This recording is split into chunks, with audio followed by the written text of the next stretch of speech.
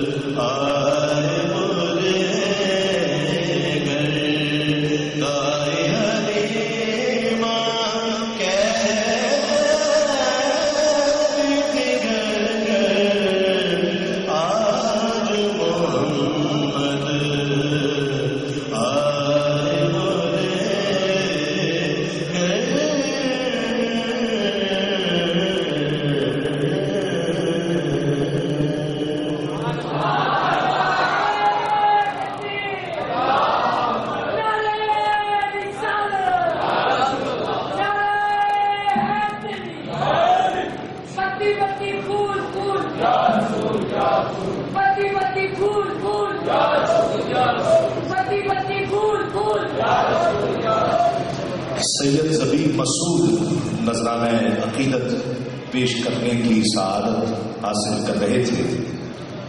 اور انہوں نے میری بات کی تائید کی کہ اس مسجد کے در و دیوار بھی آقا کا ذکر کر